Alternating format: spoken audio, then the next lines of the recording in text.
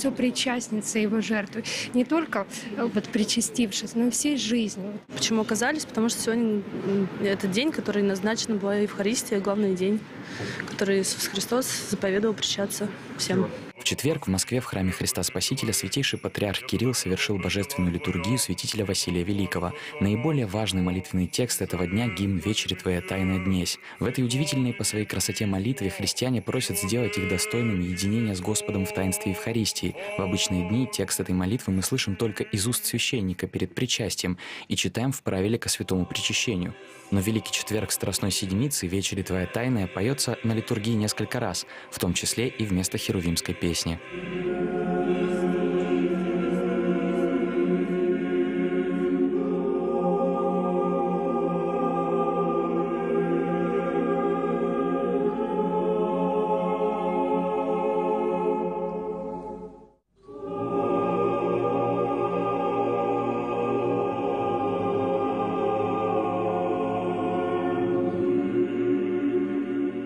Для христиан сегодняшний день, конечно, не просто дата в церковном календаре, ведь таинство Евхаристии – это основа жизни верующего человека и порой важнее для ее поддержания, чем лекарство. Я думаю, что это самое главное лекарство.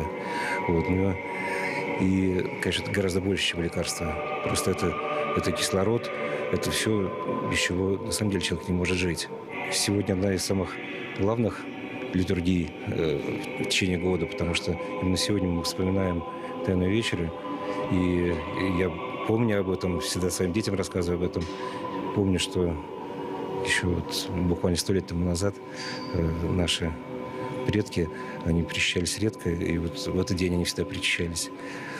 Сейчас, слава богу, у нас немножко другая традиция. Мы надеемся причаститься в Великую субботу и на Пасху. Вот. Но в воспоминательном вечере литургии, конечно, надо быть в храме. По окончании богослужения святейший патриарх обратился к присутствующим и отметил, что причащение святых христовых тайн – это не просто обряд, к которому можно прибегать раз в год. Предстоятель Русской Православной Церкви напомнил, что причащаться нужно всегда, когда есть в этом духовная потребность. А вот если потребности к причастию нет, и если отсутствие этой потребности мы прикрываем различными такими благочестивыми или псевдоблагочестивыми рассуждениями, вот я не готов, я не все прочитал, я вот чего-то еще не сделал, поэтому и причащаться не буду. Ни в коем случае нельзя, чтобы вот такие ложные аргументы отрывали нас от Святой Евхаристии, которая в центре жизни Церкви, которая действительно является таинством церкви. Поэтому не причащаясь или редко причащаясь, мы как бы сами себя от церкви-то и отлучаем. А чем же мы еще можем духовно себя питать, как не силой божественной, которая является нам и с нами соединяется через причащение тела и крови самого Спасителя. Особенно в наше судьбоносное время – когда по милости Божией укрепляется вера в нашем народе, через скорби, через страдания. А ведь чаще всего так и бывает. Там, где идут военные действия, как мне говорили, там нет атеистов. Никто не встает в атаку, заявляя, что я атеист и никакого Бога нет – даже он, если я и не исповедует веру в Бога открыто, то уж как часто тайно крестятся или зашивают себе в э, форму слова 90-го псалма или иным образом обращаются к Господу. И ведь это от того, что живая реальная потребность есть. Потому что кроме Божьей силы, что еще может спасти человека, поднимающего навстречу навстречу смерти. Тайная вечеря, Великий Четверг. Спаситель установил главное таинство Церкви – Евхаристию.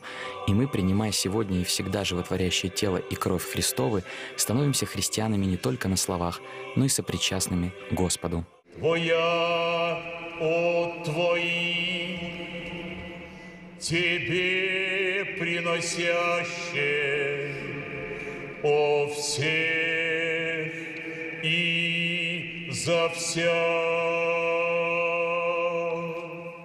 Матвей Горбунов, Андрей Андреевских, Кирилл Сусакин, телеканал «Спас». А в эти минуты в храме Христа Спасителя находится моя коллега Александра Михайловская. Там только что завершилось утреннее с чтением 12 страстных Евангелий и выносом ризы Господней. Давайте узнаем, как это было. Саша, тебе слово.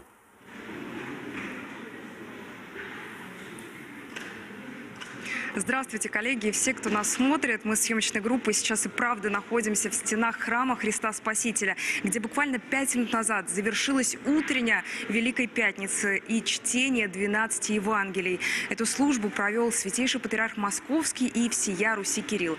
Это одна из самых удивительных служб, которая вообще существует в православной э, церкви. Она рассказывает нам и показывает нам воспоминания о спасительных странах крестного распятия его. Изначально а, описано у нас полный полный цикл э, спасительных страданий Господа, начиная от кровавого пота в Гефсиманском саду и до Голговского распятия. Сама служба построена довольно просто. Читаются все Евангелия, которые рассказывают о страданиях Христа. И причем отрывки э, построены и выбраны таким образом, чтобы осветить евангельские события с самых разных сторон.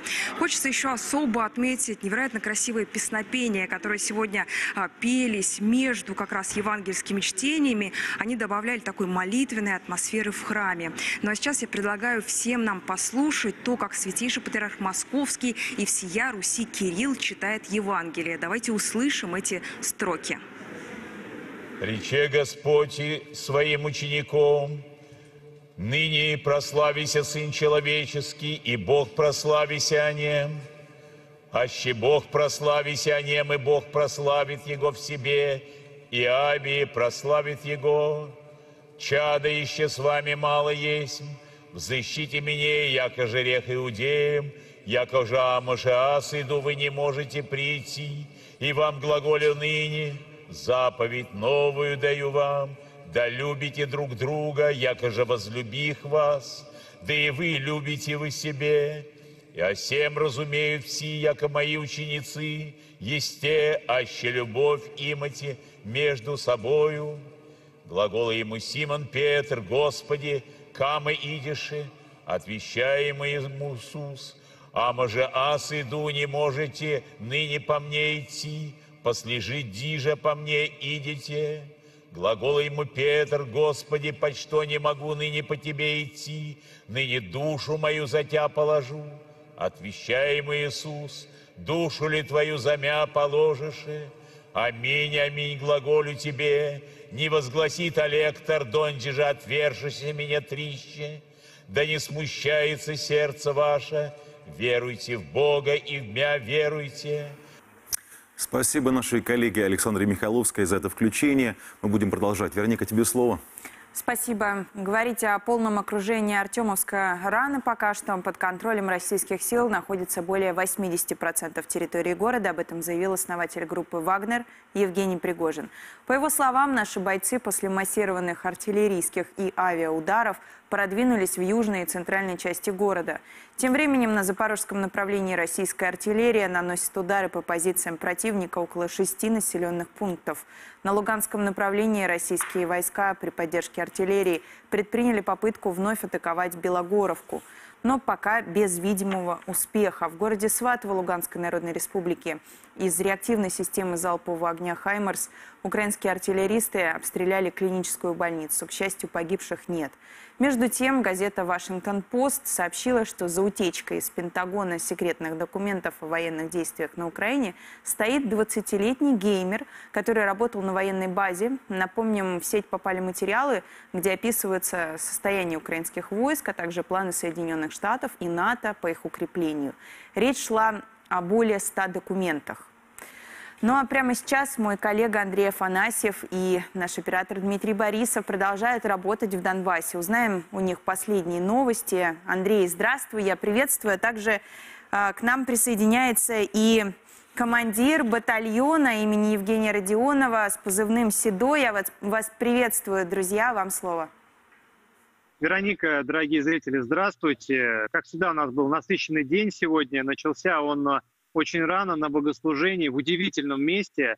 Казалось бы, нас э, сотрудников телеканала «Спас» достаточно сложно удивить э, храмами, монастырями, какими-то благодатными местами. Мы очень рады, что регулярно можем оказываться в таких святых местах, но э, село Коньково и Спас-Преображенский храм, который там находится, это абсолютно отдельная история, отдельный разговор, о котором можно говорить очень долго. Сельский храм, очень уютный, красивый, замечательный настоятель, замечательные прихожане и святыни с удивительной историей, иконы, которые э, сначала были полностью темными, а потом в храме полностью возвращали свой цвет, начинали благоухать. Э, камень, на котором отпечаталась стопа Богородицы, явившийся там неподалеку людям в 1913 году. Вот такое удивительное место с святым источником э, на высоте, которую в свое время отбивали наши войска от немецко-фашистских захватчиков. А, сейчас это тыл, но там тоже слышны раскаты и громы, и артиллерии, что не мешает, конечно, э, совершаться божественная литургия, на которой мы сегодня присутствовали, поучаствовали в таинствах, слава Богу. Также мы были в Мариуполе. У нас, как вы знаете, есть добрая традиция. А, в Мариуполе на набережной развивается стяг со Спасом Нерукотворным. В этот раз мы разместили там новый, где есть не только лик Спасителя, но и э, шевроны с изображениями святых э, покровителей батальонов наших православных. Их уже более 15, их 17, и их число растет. И вот э, новый э, стяг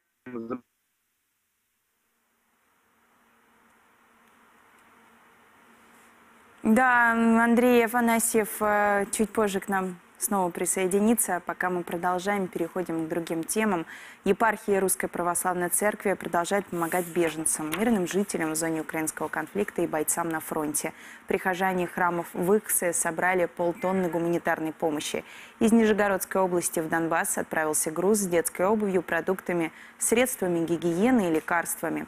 Более сотни консультаций для переселенцев провели добровольцы Шахтинской епархии. Калининградское епархиальное управление при поддержке местных торговых сетей провело благотворительную акцию «Подари добро на Пасху». Подарки передадут в том числе и беженцам. Тем временем при военном госпитале Ижевска силами прихожан Михаила Архангельского кафедрального собора и движения в честь святителя Луки Крымского открыли молельную комнату. Чин ее освящения совершил митрополит Ижевский и Удмуртский Викторин. Пациентам также передали гуманитарную помощь и начали сбор книг для библиотек, которые есть на каждом этаже этой больницы.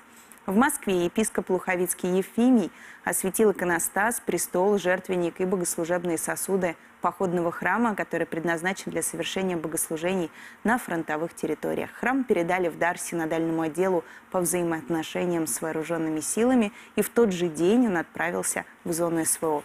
Мы с вами, я напомню, тоже можем помочь беженцам, пострадавшим мирным жителям Донбасса и другим нуждающимся. Для этого вы можете отправить смс на номер 3443 со словом «беженцы». Укажите любую сумму пожертвования, например, «беженцы 500». Андрей Афанасьев снова выходит на прямую связь со студией. Андрей, пожалуйста, да, э, связь немножко прервалась. Тебе слово. Да, Вероника, к сожалению, не всегда стабильная связь у нас тут э, в зоне проведения СВО, ничего не поделаешь. Рядом со мной находится командир одного из батальонов э, православных святых, э, э, батальона имени Евгения Родионова, позывной седой, товарищ комбат, приветствую вас. Мы передаем в батальон масштабную помощь от э, благотворительного фонда Сергея Михеева. Сергей Александрович наш э, дорогой коллега, друг телеканала «Спас», ведущий программы, регулярно участвующий в наших выпусках вот собрали, передали большую необходимую очень помощь. Все для вас, товарищ комбат. Большое спасибо Сергею Михееву, также людям России, которые помнят за нас, которые не забывают. Вот это все то, что вы передали, это жизнь солдат. Беспилотники, тепловизоры. Это непосредственно, которая защищает, контролирует противника в наступательных действиях. В общем, Большое спасибо всем, кто неравнодушен к нам. Спасибо большое. Мы продолжим э, собирать помощь э, нашим дорогим подразделениям с именами православных святых и рассказывать о том, как э, развиваются события в зоне проведения СО. Вероника, тебе слово. Андрей, можешь еще в двух словах рассказать о планах на завтрашние, послезавтрашние дни? Мы продолжим навещать э, подразделения, э, не будем называть их названия для того, чтобы э, сохранить интригу, скажем так, из соображений безопасности. Также мы постараемся побывать на богослужении пятничном, конечно же, погребение плащаницы. Один из самых драматичных, самый, наверное, драматичный, да, богослужебный чин, эпизод, который мы можем наблюдать в ходе подготовки к светлому празднику Светлого Христового Воскресения – вот, э, постараемся побывать в храме. А, страстная седмица по-особому ощущается, по-особому чувствуется, конечно же, здесь, э, в зоне боевых действий. И э, пасхальная радость, которая уже грядет, мы уже ее чувствуем, она тоже здесь чувствуется по-особенному. Согласна. Спасибо огромное. На прямой связи со студией был мой коллега, военный корреспондент, телеведущий Андрей Афанасьев и наш оператор Дмитрий Борисов. Смотрите далее в программе. Харуквь для воинов. В Соловецком монастыре создали знамя с ликом Спасителя для духовного кормления бойцов Росгвардии. Преподобный Аполлоний Египетский о жизни и духовном подвиге Святого Дня расскажет далее Игорь Петровский. Об этом и многом другом будем говорить. Оставайтесь с нами на телеканале «Спас».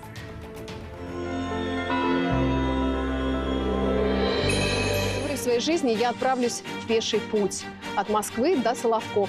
Я получила не только благословение от владыки, он сам поставил мне первую печать в паспорт путешественника. Ну все, путь. Идя по э, земле, слушайте птиц.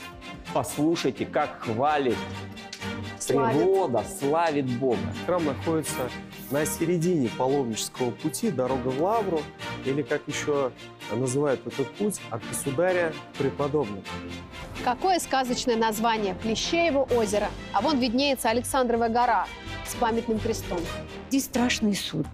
Мы видим на одной стороне ад, на другой стороне рай. Состояние было ужасное. Все это 20 лет стояло без крыши. Господь видит эти труды, которые расположена. Дом преподобного Сергия находился на том месте, где сейчас находится вот сей храм. Мое паломничество еще только началось, а у меня уже душа переполнена радостью и любовью к нашим русским полям, лесам, храмам и монастырям, к нашим русским людям. Великая Россия понемногу открывает мне свои дары, и сколько их еще будет впереди.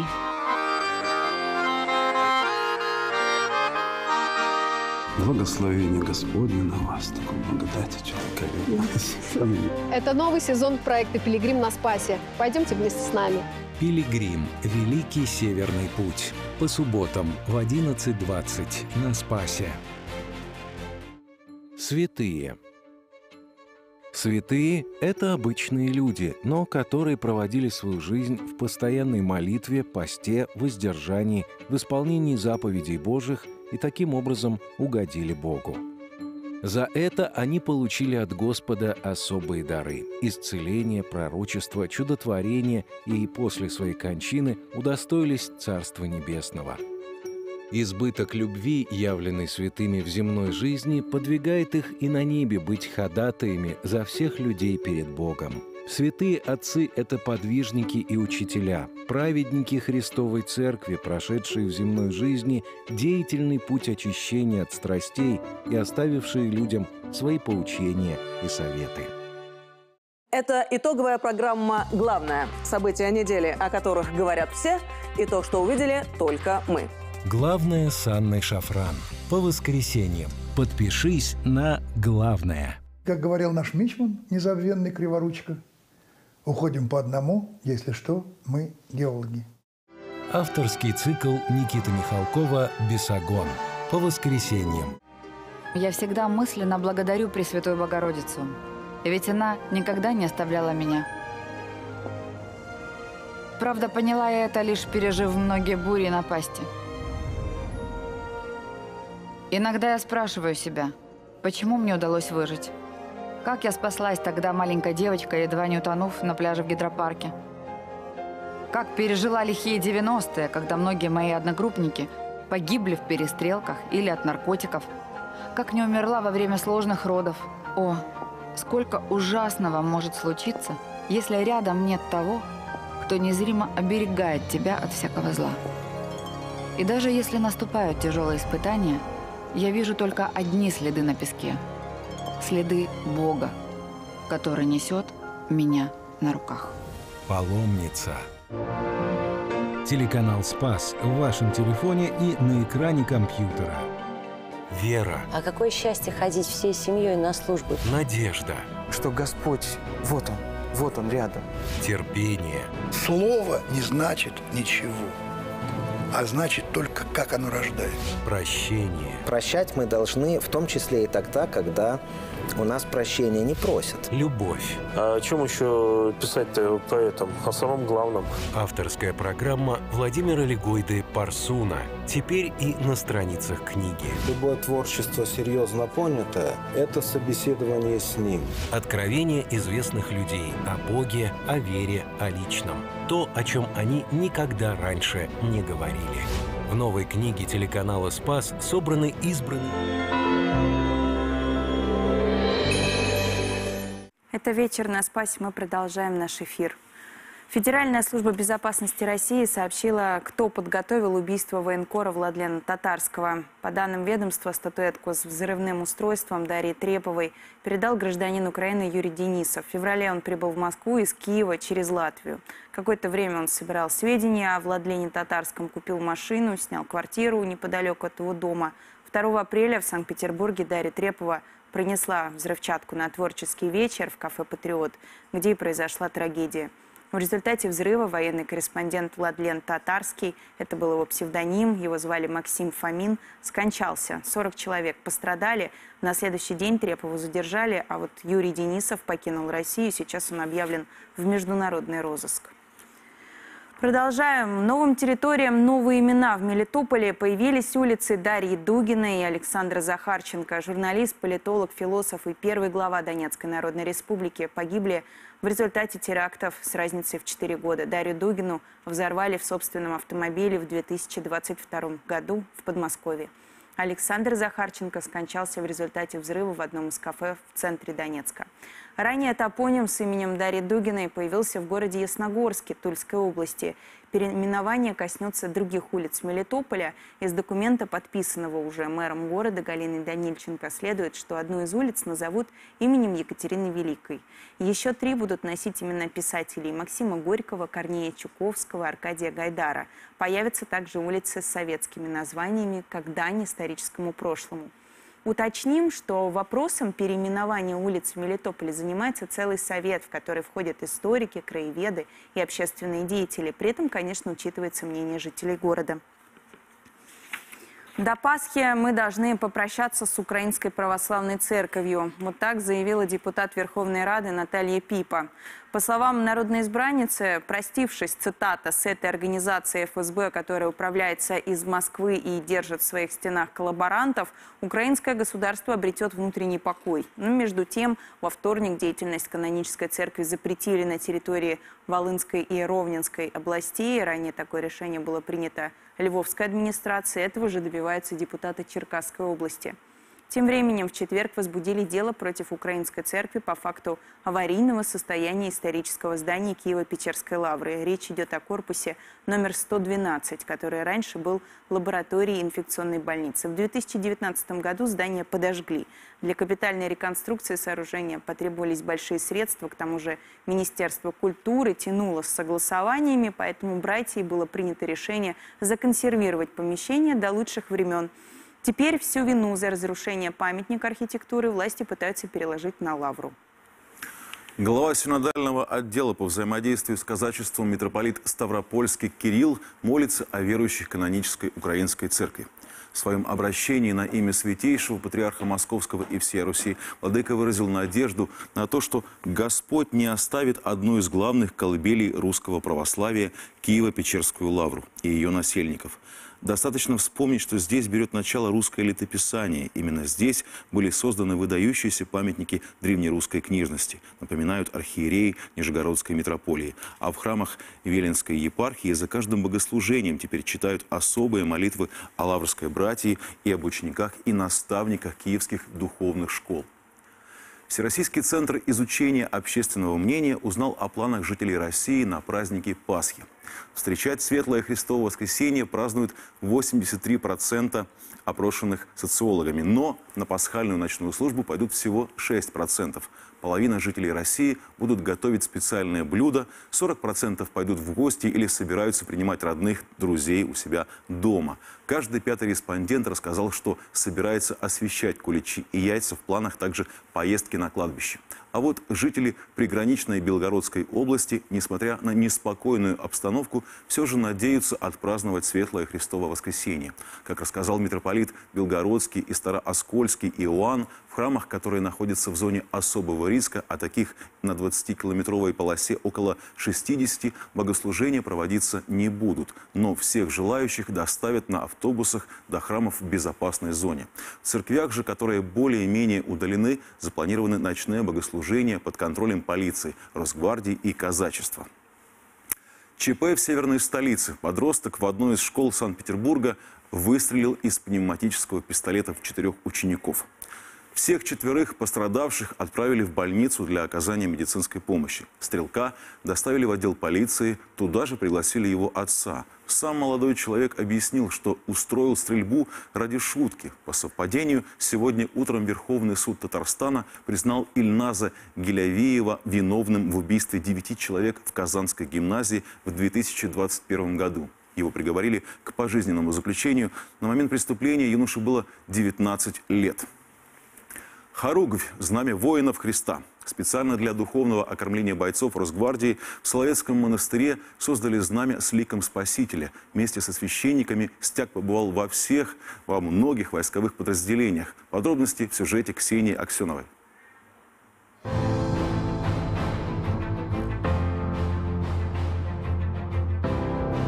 Камуфляжной форме, бронежилетах, но без автоматов. Крест – их главное духовное оружие. Прямо на передовой священники исповедуют, служат молебны и причащают бойцов Росгвардии, помогая сохранить, а кому-то и обрести веру в Бога. Господь и Бог наш, Иисус Христос, благодатью щедротами человека любит, да простит вас, чада, воины. Я, недостойный протеерей, властью мне данную, прощаю и разрешаю вас от всех грехов ваших во имя Отца и Сына и Святого Духа. Аминь. На этих кадрах за спиной отца Святослава хоруквь с изображением Спасителя. Возрождая древнюю традицию, ее вышивали в мастерской подворье Соловецкого монастыря в Кеми и прислали в столицу специально для росгвардейцев. Она была передана мне здесь, когда я уже находился здесь в командировке. Со мной эта Харука уже проехала три фронта. Запорожский фронт, э, Луганское направление и Донецкий фронт. Вот, побывала во многих подразделениях. Вот, бойцы помолились около этой Харугви. Вот, мы везде объясняем, рассказываем, что здесь вложен не только, э, так сказать, ручной труд, но и труд молитвенный, потому что любой образ Божий, который создается, он создается с молитвой. Что такое служба на передовой, батюшка знает не понаслышке. Он настоятель храма Сергия Радонежского в Железногорске, однако совершил десятки командировок в горячие точки, духовно окормляя наших солдат.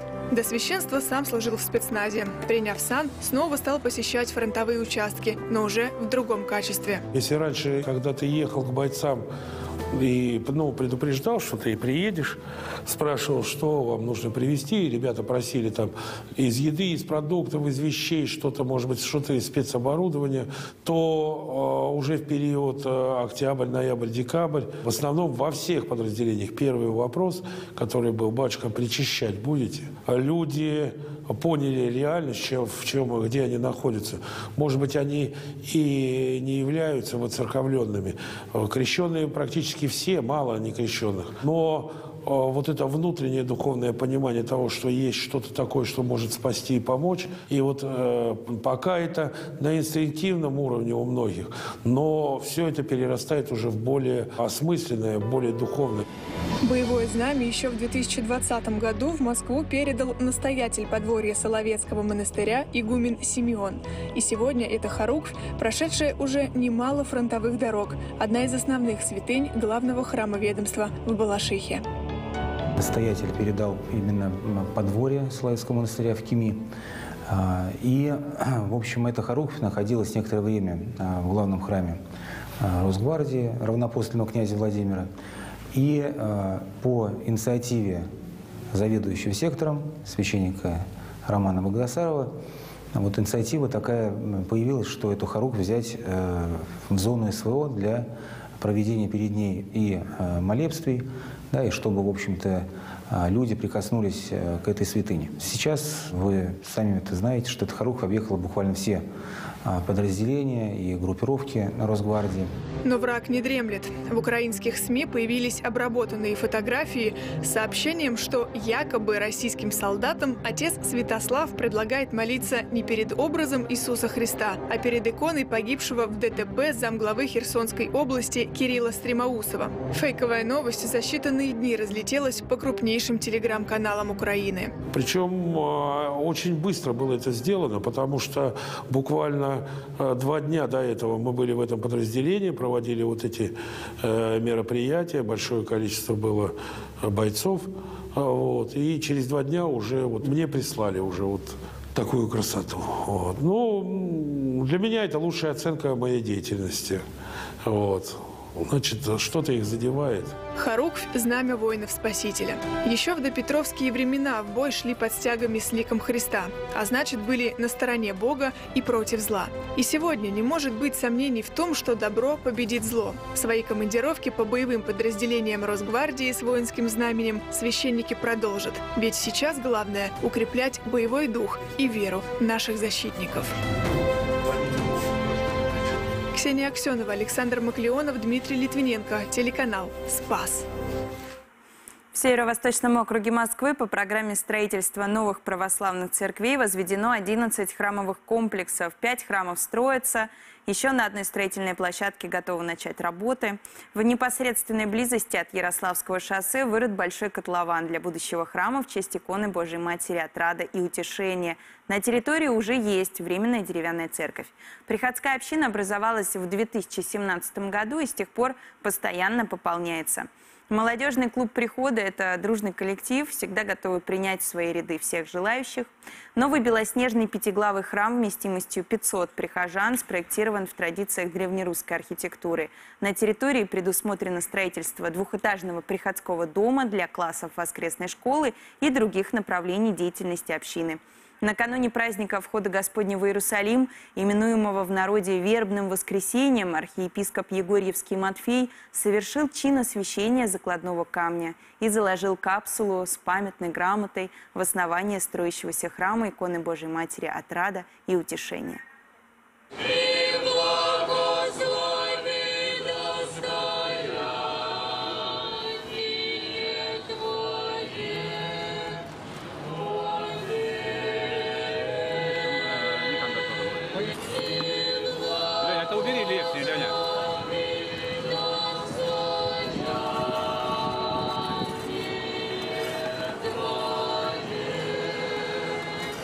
Вербы, которые сегодня люди будут освещать в храмах, символизируют жизнь вечную, символизируют духовную весну, которая наступает, и календарную весну, которую мы сегодня видим, и духовная весна, которая наступает в преддверии пасхальных событий.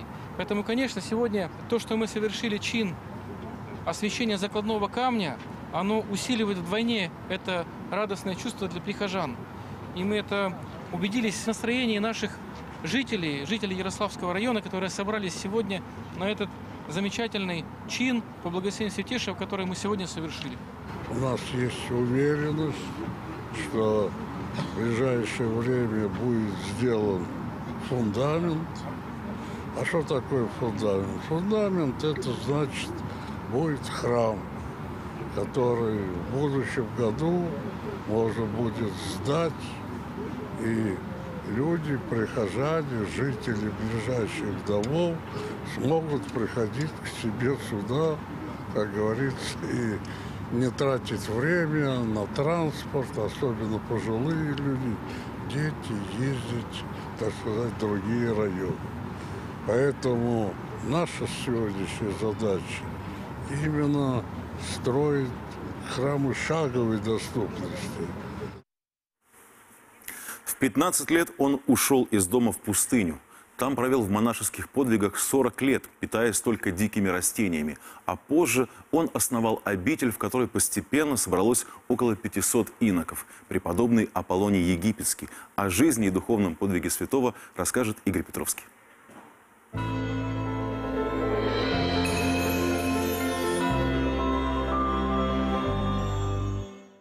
Имя этого святого было широко известно в Византии благодаря минологии императора Василия II. Это краткое описание жизни святых с очень красочными иллюстрациями. Император, при котором киевский князь Владимир принял крещение и крестил Русь, не очень любил чтение, а зато с любопытством всегда смотрел картинки. А в XII веке имя этого святого стало известно на Руси, благодаря тому, что минологию Василия II перевели на славянский и назвали прологом. Сборник житий древних святых был настолько популярен в русском народе, что его часто редактировали и пополняли так как без иллюстрации «Минология Василия» повествование все-таки казалось очень коротким. А в XVI веке этот святой стал чрезвычайно популярен у нас на родине, так как святитель московский Макарий расширил его житие и поместил его в великих Минеях Четьях, то есть в большом сборнике, который содержал не богослужебные тексты, а житийные и был предназначен не для пения в храмах, а для чтения на дому. Сегодня день памяти преподобного пустынника Аполлония Египетского. В 15 лет он ушел в египетскую пустыню, где стяжал многие духовные дары. Он не проповедовал словом, точнее, не только им. Сам его внешний вид, сияние его лица и внутренняя сила, которую чувствовали каждый, кто приближался к преподобному, вот порой они воздействовали на людей посильнее многих слов – когда жители соседних с его монастырем деревень бросались друг на друга в гневе, готовые истребить один другого за какие-то бытовые конфликты, достаточно было ему просто появиться, чтобы все отрезвели и успокоились. Однажды он появился на какой-то языческой церемонии, после чего ее участники сожгли идола, а некоторые даже ушли с ним в пустыню, в его монастырь. Вскоре во всей округе не осталось ни одного язычника – когда император Юлиан Отступник набирал для похода против перцев рекрутов в солдаты, он схватил одного инока из монастыря Аполлония. Преподобный явился в гарнизон, но тут же был арестован. Однако ночью стража не смогла даже пошевелиться, и все оковы распались, и Аполлоний вывел рекрутированного в армию императора-язычника юношу на свободу, удалившись с ним обратно в свою обитель. Аполлоний был невероятно милостивым и добрым старцем. Когда по всей округе наступил голод, его монастырь играл роль такого гуманитарного склада. Они собирали откуда могли и раздавали продукты в голодающие деревни. Но скончался преподобный Аполлоний Египетский пустынник в 395 году, и благодаря минологию Василия, славянскому прологу и чете Минеи Макария о его подвиге узнал весь православный мир. Его же молитвами укрепи и нас, Боже.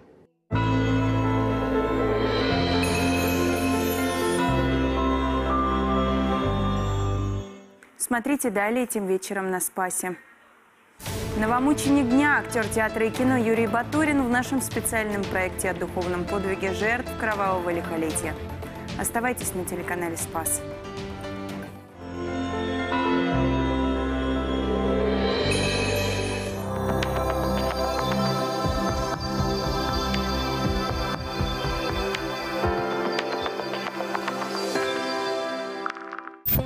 Игорь Петровский. Тест на правду. Книга «Имя России. Духовная история страны» известного журналиста и телеведущего Бориса Корчевникова уже в продаже.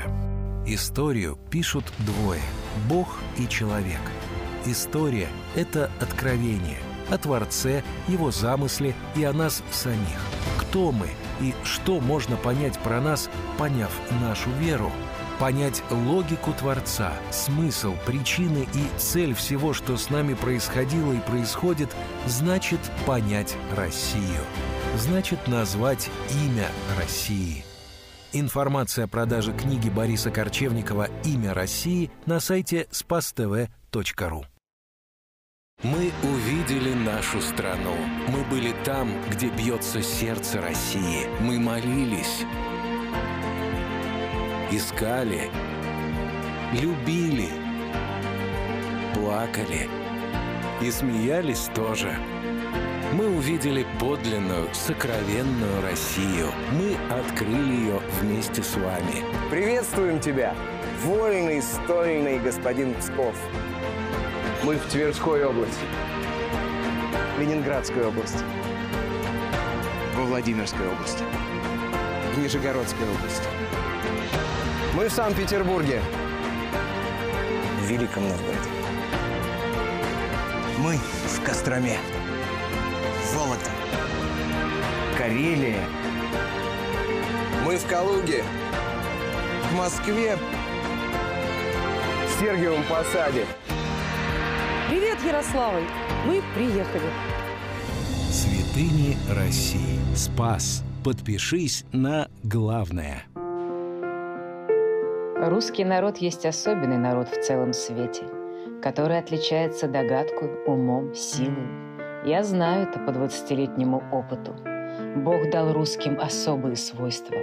Верю, взойдет звезда Востока, откуда должен воссиять свет, ибо там, в России, больше, чем где-нибудь хранится под пеплом духа, мощи и силы. Вера, А какое счастье ходить всей семьей на службу. надежда, Что Господь, вот Он, вот Он рядом. терпение, Слово не значит ничего, а значит только как оно рождается. прощение, Прощать мы должны в том числе и тогда, когда у нас прощения не просят. любовь. А о чем еще писать-то поэтам? О самом главном. Авторская программа Владимира Легойды «Парсуна». Теперь и на страницах книги. Любое творчество серьезно понятое – это собеседование с ним. Откровения известных людей о Боге, о вере, о личном. То, о чем они никогда раньше не говорили. В новой книге телеканала «Спас» собраны избранные интервью Владимира Легойды с актерами, учеными, священниками, режиссерами и многими другими. Подробную информацию о книге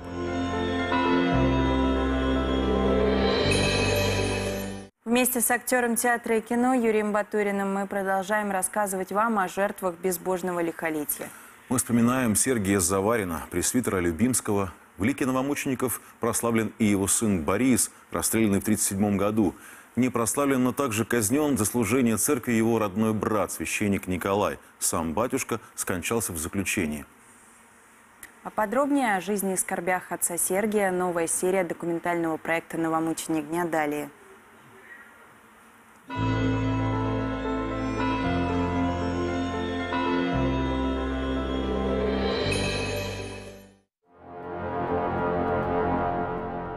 Дмитриевскую субботу 30 октября 1937 года в деревенский храм вошли сотрудники НКВД. В алтаре к лицом ко входу стоял священник. Богоборцы обступили священника, не давая ему уйти. Кто-то встал к северным вратам, кто-то к южным. Один из них поднялся через царские ворота к престолу. Он предложил священнику прекратить службу и снять с себя сан. Тот повернул голову к чекисту и медленно, уверенно сказал, «Я с верой родился, с верой и умру». Отец Сергий Заварин последний раз поклонился пастве и последовал за пришедшими навстречу с Господом. Имя Сергей Константинович Заварин. Год рождения 1885. Место рождения село Вознесенское, Любимский уезд Ярославской губернии. Образование Ярославская духовная семинария. Должность – настоятель церкви Троицы Живоначальной села Троицы-Закулжье Любимского района Ярославской области. Арестован как организатор контрреволюционной церковной группировки. Приговорен к 10 годам исправительно-трудовых лагерей. В 1937 году председатель Бормановского сельсовета отправил в НКВД донесение. «Довожу до вашего сведения, что в нашем Бормановском сельсовете работает группа церковников, возглавляемая попом Завариным. Товарищ начальник НКВД, мне чего-то подозрительно, что поп Заварин часто получает из буя посылки под видом свечей. Я считаю, нет ли чего в этих свечах?» Священномученик Сергий был арестован в Троицком храме. Арест э, происходил очень подло. Это было сделано во время богослужения. При свидетелях, в чем была ошибка, собственно говоря, гонителей церкви, потому что те люди, которые стали свидетелями ареста священномученика Сергия Заварина, они же потом свидетельствовали и о подвиге этого священномученика. Путь на русскую Голгофу начался для протеерея Сергия Заварина задолго до ареста. Еще в 1927 году священник, служивший в храме в селе Троицы-Закулжье, отрекся от сана. На его место и пришел будущий священномученик. Как только он появился в селе, власти начали активно изводить клирика. Обвиняли его в потраве овса, обвиняли его в том, что он отговаривал э, селян э, сеять зерновые и уговаривал их не прекращать сеять лен. Говорят, что э, вы сейчас лен не посеете, а потом будете ткань покупать за очень и очень большие деньги. То есть, по сути дела, руководствовался -то отец Сергий не контрреволюцией, а руководствовался любовью к своим прихожанам. И прихожане отвечали искреннему батюшке любовью. Когда за непоставку молока власти ему выписали очень крупный штраф, простые крестьяне насобирали целых 400 рублей, баснословную по тем временам сумму. Понимая, что просто так со священником расправиться не удастся, началась стандартная травля. Приговорили батюшку к десяти годам лагерей. Ну, человек, он уже был скажем так, э, в летах, плюс тяжелая крестьянская жизнь, ведь священник в селе – это в первую очередь труженик. И такой приговор э, в таких э, тяжелых условиях, конечно, он изначально был смертным для него. Память священномученика трепетно сохраняется на Ярославской земле. Совсем недавно, в 2021 году, в деревне Вахромейка построили храм, освященный в честь отца Сергия. Родился он неподалеку от этой деревушки, в селе Вознесенском, 22 сентября 1885 года. Его отец служил простым сельским священником. Вместе с матушкой они воспитывали пятерых детей. Отец священномученика Сергия Заварина э, был благочинный Любимского округа. Благочинные тех времен, это, конечно, была очень значимая фигура, поскольку епархии были просто гигантских размеров, и благочинные, они фактически были такими маленькими местными архиереями. То есть это человек, наделенный Э, и большими полномочиями, пользовавшийся большим уважением. У отца священномученика в гостях были разные именитые люди, в том числе будущий патриарх Тихон. В 1913 году ярославские епархиальные ведомости писали, как, будучи архиепископом Ярославским, святитель Тихон посещал по просьбе прихожан село Афанасьевское. На обратном пути заехал в село Вознесенское. Здесь, осмотрев церковь, зашел к местному благочинному Константину Заварину, где ему были предложены чай и закуска. Возможно, именно встречи с будущим патриархом так укрепили веру в отце Сергии, что он в годы богоборчества отказался оставить сан, несмотря ни на какие угрозы и преследования. Не побоялись богоборцев и его ближайшие родственники. Первым пострадал от безбожной власти сын отца Сергия, соломщик одного из сел Ростовского уезда Ярославской губернии Борис. Священномученик э, Борис э, был арестован за год до ареста своего отца. Следствие велось три дня. ПГТ Причистая, здесь тоже оно недалеко находится. Там же его приговорили его еще несколько священников, значит, за контрреволюцию приговорили к высшей мере наказания. Священномученик Борис Заварин был расстрелян в городе Вологда и похоронен в безвестной могиле. Младший брат батюшки Николай Константинович, священник Троицкой церкви села Ямсна Нерехтского района, был обвинен в организации церковно-монархической группы. Расстреляли его 21 сентября 1937 года. Не выдержав потери родных и страшных испытаний лагерной жизни, священномученик Сергий Заварин скончался через полгода после ареста. В 2000 году Архиерейский собор Русской Православной Церкви причислил протеерея Сергия Заварина к лику новомучеников. Храм, в котором служил батюшка, из которого он отправился на свой крестный путь, сегодня заброшен. И все его три престола – Святой Троицы, святителя Николая и святого великомученика Дмитрия Саунского – пустуют. люди ушли из когда-то уютного, доброго села Троица.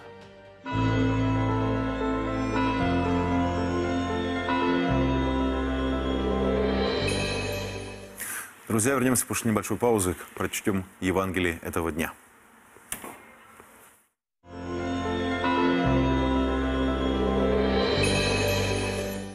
Вера. На этом месте почти 700 лет назад будет заложена церковь в честь Пресвятой Троицы. Так начнет свою историю Троица Сергиева Лавра, духовное сердце России. Вызовы. Частичная военная мобилизация. Если для резервистов она и вправду частичная, то для верующих людей наступила мобилизация полная. Человек. Мы находимся на территории храма Благовещения Пресвятой Богородицы в Петровском парке. Именно за его алтарем и похоронен отец Дмитрий Смирнов. История и будущее. Достижения и ошибки. Герои прошлого и современники, которыми мы гордимся. Мы ответственны за будущее нашей страны. Точно так же, как был ответственен Александр Невский и Даниил Галицкий. Разгадать русскую тайну. Как и почему Москва стала центром православной России? Что такое духовная мобилизация? И почему так важно знать историю своего народа? Это «Русский мир». Программа не о политике, а о каждом из нас. По субботам в 21.20 на Спасе. Когда надо крестить ребенка? Определенного времени для совершения таинства крещения младенцев церковными правилами не установлено.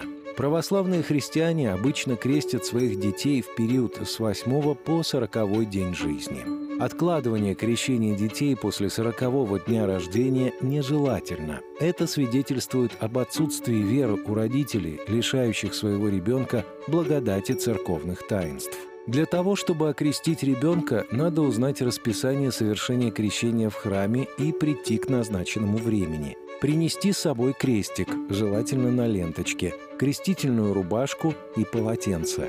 Для младенцев обязательно крестные, которые должны быть крещенными и верующими. Евангелие говорит, что у каждого человека в мире есть ангел-хранитель. Крещение дает возможность особенно глубокого и серьезного общения человека и ангела, возможность ангелу вести человека к спасению, оберегать его и наставлять. Человек становится способен к некоему духовному слышанию, духовному разговору со своим небесным покровителем. Это итоговая программа «Главное». События недели, о которых говорят все, и то, что увидели только мы. Главное с Анной Шафран. По воскресеньям и на нашем Рутюб-канале. Книга «Имя России. Духовная история страны» известного журналиста и телеведущего Бориса Корчевникова уже в продаже. Историю пишут двое – Бог и человек. История – это откровение о Творце, его замысле и о нас самих. Кто мы и что можно понять про нас, поняв нашу веру – понять логику Творца, смысл, причины и цель всего, что с нами происходило и происходит, значит понять Россию. Значит назвать имя России. Информация о продаже книги Бориса Корчевникова «Имя России» на сайте spastv.ru. Не плачь. Вот лев от колена Иудина победил. У Бога не останется бессильным никакое слово.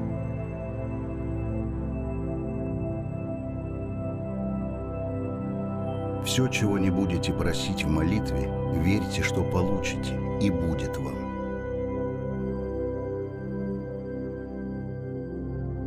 И глухих делает слышащими, и немых говорящими.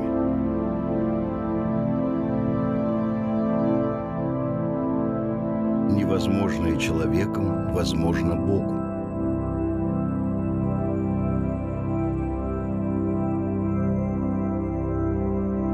Что вы так боязливы?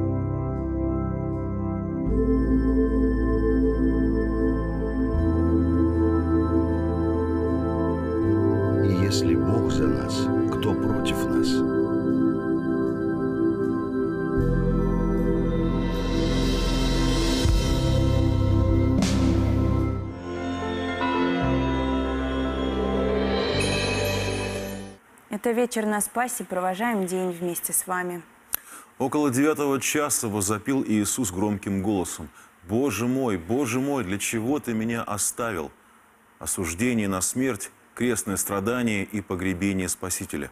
Мы вспоминаем события Великой Пятницы. Пришло время прочесть вместе Евангелие дня.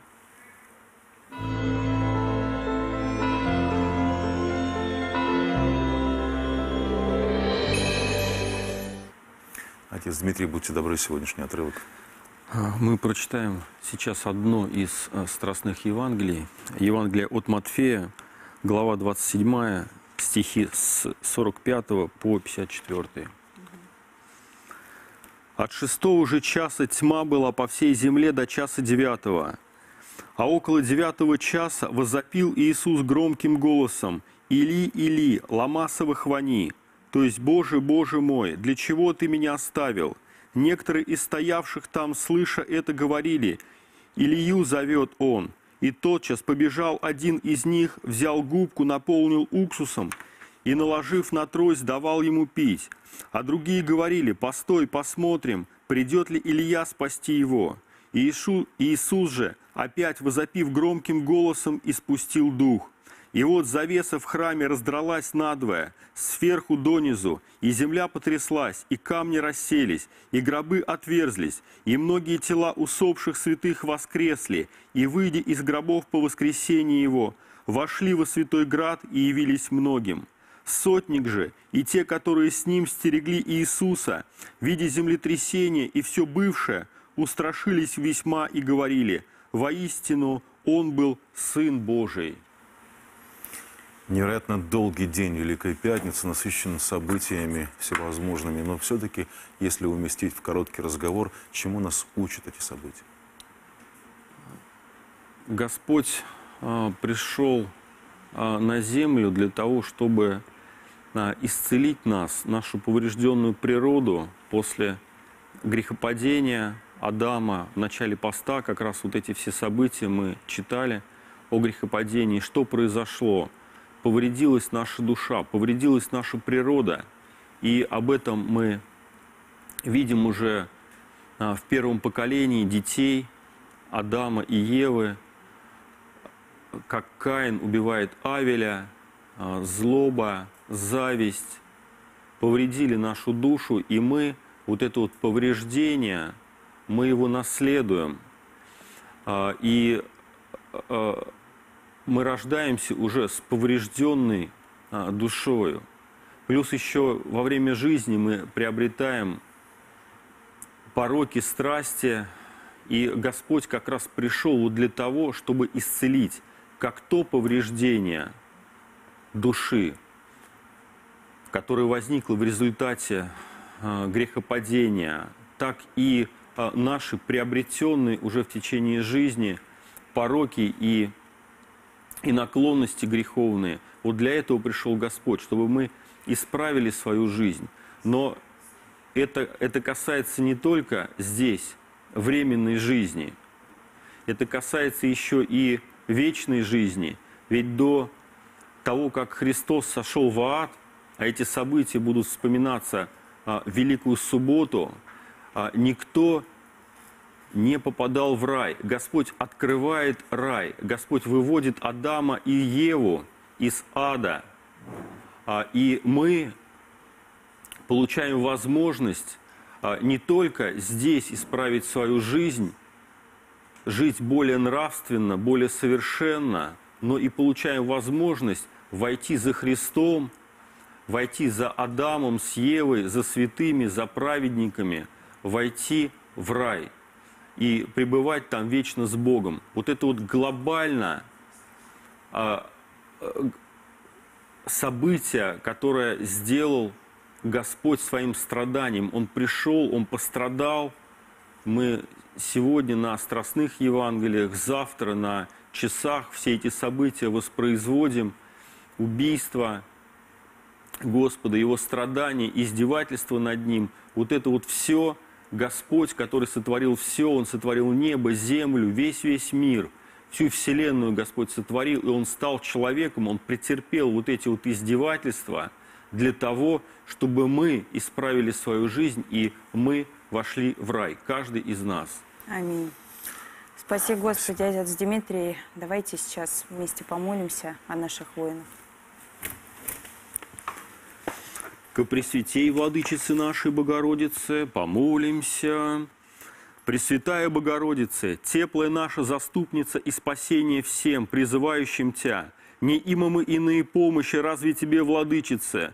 Ты бы едина, надежда и упование наша, не презри слез наших и, и не отрини усердных молений, но спаси от смерти и от бед сохрани воинов наших на поле брани сущих, укрепи их дух, утверди в заповедях Сына Твоего, умножи в них веру, просвети ум, дашь мужество в обранех, да непорочно исполнивши ратное служение, целый и невредимый возвратятся в домы своя и прославит Пресвятое имя Отца и Сына и Святаго Духа и Твое милостивное заступление. Аминь. Аминь. Спасибо большое, отец Дмитрий. Я думаю, сейчас всем нам стоит подумать, ведь э, Великая Пятница – один из самых скорбных дней для всех православных христиан. Мы знаем, что Христос обязательно воскреснет, но пока что мы стоим в этой толпе и смотрим, как распинают нашего Спасителя. Давайте помолимся друг о друге, и да поможет нам Господь. Мирного неба, друзья. thank you